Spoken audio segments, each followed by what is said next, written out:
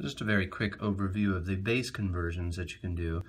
Your base menu is here. You convert a number from hexadecimal, octal, binary, decimal.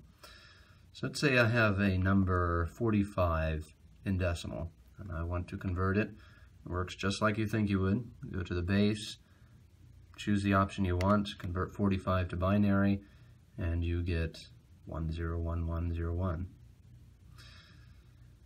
Now I want to add in another number here, so I start typing 10010, add those two numbers together,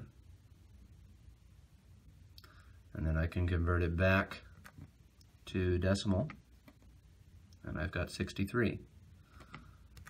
Convert it to hexadecimal, 3F.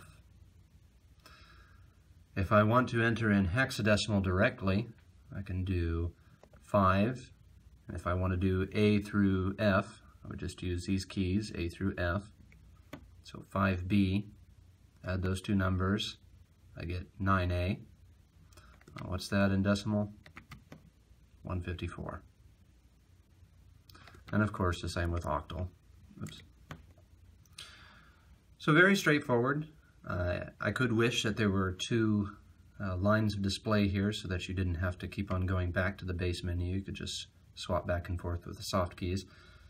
But it, it works well, and uh, it works quickly. So that's base conversions.